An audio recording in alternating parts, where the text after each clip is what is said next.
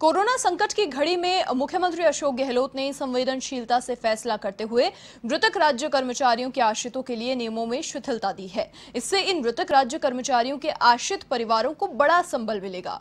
मुख्यमंत्री अशोक गहलोत ने मृतक आश्रितों को नौकरी के लिए लंबित प्रकरणों में मानवीय आधार पर निर्णय लेते हुए आवेदकों के लिए नियुक्ति की राह आसान कर दी है।